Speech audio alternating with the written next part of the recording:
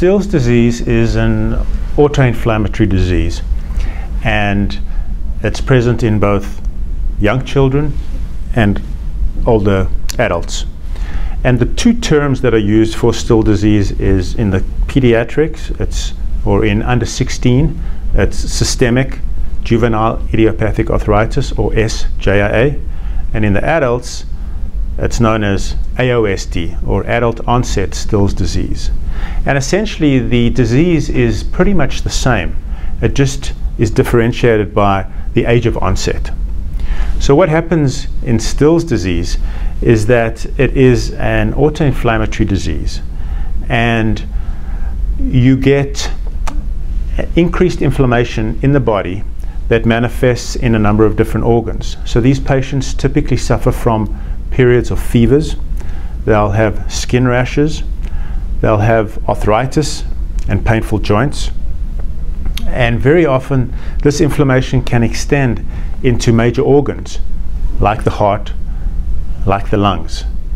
And so it can cause havoc in a patient um, who has Still's disease. What's causing this inf increased inflammation is the pro inflammatory cytokine IL 1 or interleukin 1. There is an increase in the production of this pro inflammatory cytokine. And because of that, you get inflammatory effects on these organs.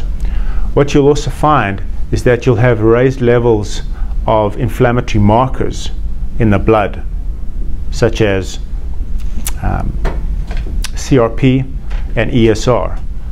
And very often, these are some of the leading indicators for the physician when they're not quite sure what's wrong with this patient because they come in with non-specific symptoms, everything from a rash to a fever. People get these all the time. But when they do the blood test and they see these elevated levels of inflammatory markers, then the radar goes up and says, well, maybe this is something more than just uh, you know, an influenza or some other infection. Um, and so the physician will then dig further.